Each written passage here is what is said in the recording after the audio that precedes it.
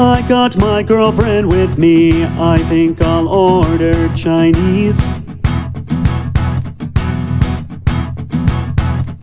Oh, wait, never mind because she has a gluten allergy. Oh, yeah, now I see. That's when you're allergic to weed. Yes, that's kind of true, but a lot of things other than that, too. I'm gonna order Chinese now. I'm gonna order it soon. I'm gonna order Chinese now.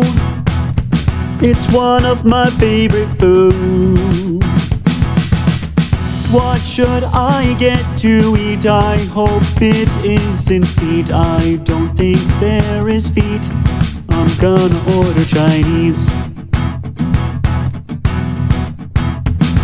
Remember her allergies.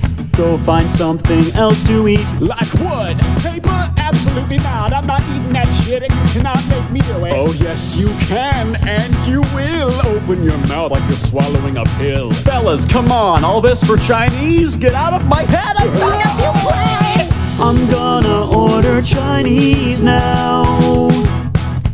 I'm gonna order it soon. I'm gonna order Chinese now. It's one of my favorite foods. What should I get to eat? I hope it isn't feet. I don't think there is feet. I'm gonna order Chinese. What if they give me meat and I think it is feet? Do I have to eat it? That's my choice.